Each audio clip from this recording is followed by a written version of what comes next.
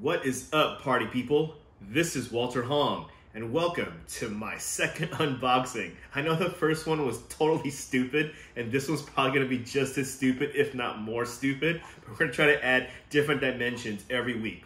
Uh, my goal is to do 52 weeks of these unboxings. Uh, they're gonna be things that I buy, things that are given to me, and things I just have, you know, it's still in the boxes, because just like everyone else, I'm a total consumer and I've got all this stuff that I ordered from Amazon, from all these other different places that I just haven't unboxed yet because for whatever reason.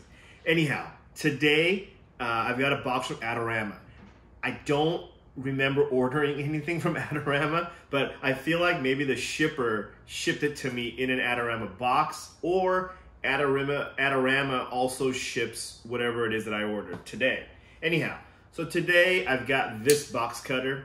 It's a nice, simple uh, pocket knife. It's an everyday carry knife, otherwise known as EDC. What's great about this is that it's light, it's serrated, it's black so that uh, it doesn't reflect the sun and you know it could be incognito and whatnot. It probably would help if you wore black while you're using this and not wearing white.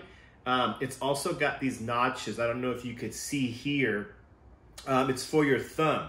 So when you're stabbing people repeatedly, your thumb and fingers won't slip into the blade, uh, which tends to happen quite often. And so if you watch Law and Order, you know that pe when people stab others, uh, their blood gets on the victim's body as well. Uh, why I know that is really beyond me, but that's today's box cutter.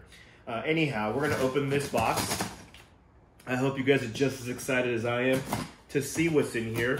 Uh, I don't totally know. It says not to use a it says not to use a box cutter, like right here, but um, that's why I'm not using a box cutter traditionally. I'm just using this. And I'm being, trying to be very careful with it as well. But anyhow, let's see what this is. Oh, oh yeah. This is, um, this is a wetsuit that I got.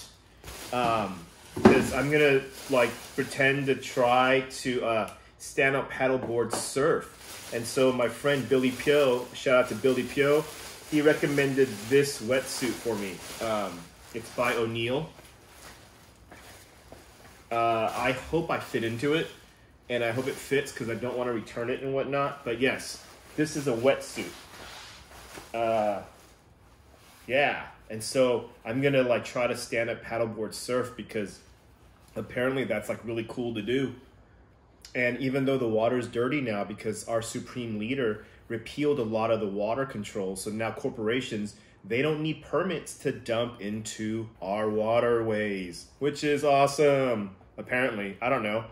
Anyhow, anyway, thanks for staying with me on my second unboxing. There'll be more coming soon, and I hope to see y'all later for the stupidest videos in the world.